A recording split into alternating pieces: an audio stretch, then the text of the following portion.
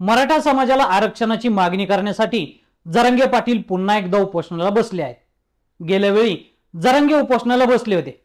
तेव्हा शिंदे सरकारनं तेरा जुलैला सगळे सोयरे अधिसूचना काढण्याचं आश्वासन दिलं. पण या मुदतीत काहीही न झाल्यानं जरांगे चांगलेच संतप्त झाले आहेत. मुदत संपल्यानंतरही अधिसूचना जारी केलेली नसल्यानं त्यांनी पुन्हा उपोषणाचं हत्यार उपसले. मात्र त्यांच्या उपोषणाचं हेच एकमेव कारण नाहीये. जरांगे पाटील यांच्या उपोषणाचं यावेळचं मुख्य कारण आहे ते साडेसात लाख हरकती. याच हरकतींचा धसका त्यांनी घेतल्याचं बोललं जात आहे त्यामुळं सरकारवर पुन्हा दबाव तयार करण्यासाठी त्यांनी उपोषणाला बसण्याचा निर्णय घेतल्याचं बोललं जाते नेमक्या काय आहेत या हरकती? आणि जरंगे पाटील का उपोषणाला बसले आहेत? पाहूयात सविस्तर. राज्य सरकारनं सव्वीस जानेवारी दोन हजार चोवीस रोजी सगळे सोयरे परिपत्रक काढलं. हे परिपत्रक घेऊन जरंगे पाटील यांनी नवी मुंबईतच विजयाचा गुलाल उधळला पण हा गुलाल काही दिवसांपुरताच ठरला.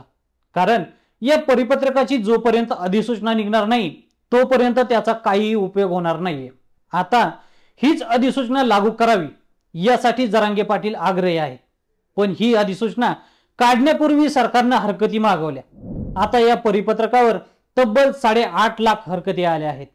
या साडेआठ लाख हरकतींपैकी सगळे सोयऱ्यांचं परिपत्रक मागे घेण्यासाठी तब्बल सात लाख पासष्ट हजारांहून अधिक हरकती आल्या आहेत.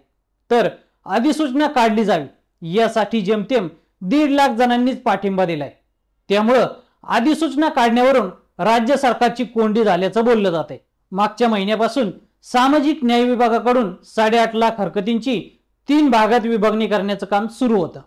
यात अधिसूचनेला पाठिंबा अधिसूचनेला हरकत घेऊन रद्द करण्याची मागणी आणि अधिसूचनेत सुधारणा असं स्वरूप होतं. हे काम आता पूर्ण झाले सगळे सोयऱ्यांबद्दल आलेल्या हरकतींचं स्वरूप कसं आहे हे राज्य सरकारनं अद्याप जाहीर केलेलं नाहीये. मात्र याबाबत वरिष्ठ अधिकाऱ्यांनी दिलेल्या माहितीनुसार सात लाख पासष्ट हजारांपेक्षा अधिक लोकांनी हे परिपत्रक लागू केलं जाऊ नये अशी मागणी केली. तर दीड लाख लोकांनी हे परिपत्रक लागू केलं जावं अशी मागणी सरकारकडे केली आहे त्यामुळंच मराठा आंदोलकांच्या मागणीनुसार सगळे सोयऱ्यांचं परिपत्रक राज्य सरकारनं काढलं असलं तरी ओबीसी समाजानं या परिपत्रकाला विरोध केलेला दिसतोय. या परिपत्रकासंबंधित राज्याच्या विधी आणि न्याय विभागानं कुणबी संबंधित घेतलेली भूमिकाही महत्वाची स्वजातीत विवाह झाले असले तरी कुणबी जात प्रमाणपत्र असलेल्या मुलीचा विवाह कुणबी जात प्रमाणपत्र नसलेल्या कुटुंबात झाला तर तिच्या पतीला आणि त्याच्या कुटुंबियांना कुणबी जात प्रमाणपत्र देता येणार नाही अशी स्पष्ट भूमिका विधी व न्याय विभागाने घेतली आहे. त्यामुळंच जरांगे पाटील यांची धडधड वाढल्याचं बोललं जाते वास्तविक सगेसोयऱ्यांबद्दल राज्य सरकारनं प्रसिद्ध केलेल्या मसुद्याची अधिसूचना काढण्याचं किंवा कोणत्याही कारणास्तव न काढण्याचं बंधन सरकारवर नाहीये. जरी एखाद्या परिपत्रकावर धोरणावर सरकारनं हरकती आणि सूचना मागवल्या तरी त्या मान्य करणं किंवा फेटाळणं याचा पूर्णपणे सरकारला अधिकार आहे. सगळे सोयऱ्यांच्या धोरणाला बहुसंख्य प्रमाणात विरोध झाला असला तरी सरकारनं ठरवलं तर ते लागू करता येतं. त्यामुळंच आता सरकार काय करतं आणि जरांगे पाटील काय करतात हे बघणं महत्वाचं ठरणार आहे. तर मंडळी मनोज जरांगे पाटील यांच्या आंदोलनाबद्दल तुम्हाला काय वाटतं?